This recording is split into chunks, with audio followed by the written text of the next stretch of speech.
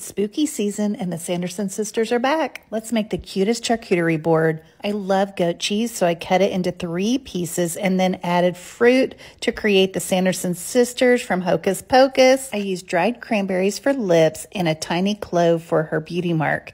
Look at how cute this is. Now just start adding to your platter and I added a moon because they're out at night, you know, doing hocus pocus things. I hope you love my version of the hocus pocus charcuterie board. It's perfect for movie night. Thanks for watching. I'm Amy from Living Locurto. Follow for more fun party ideas.